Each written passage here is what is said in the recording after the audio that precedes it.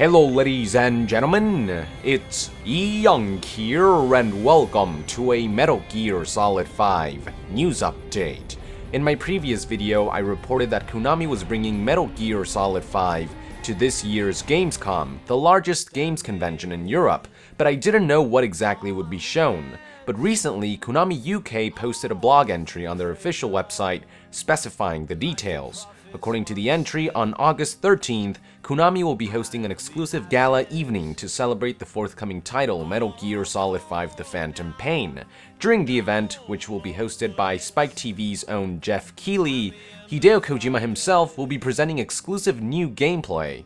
The event will also feature a live Q&A session with Kojima, along with, quote, a few surprises. The best part is that the event will be streamed live on Twitch, so people who are not attending Gamescom can also take part in watching the new gameplay presentation as it is unveiled. The stream will begin on August 13th at 8 p.m. Central European Time, which converts to 2 p.m. Eastern and 11 a.m. Pacific. You can bet your ass that I'll be covering this like there's no tomorrow, so be sure to stay tuned here on Yeah on August 13th and the days that follow for my coverage and analysis on all the new gameplay and information that will be revealed. In the meantime, let our Nasian know in the comments below what you expect from the gameplay presentation. I am personally expecting to see some gameplay of Africa, which we only got glimpses of many years ago during the Fox engine's development.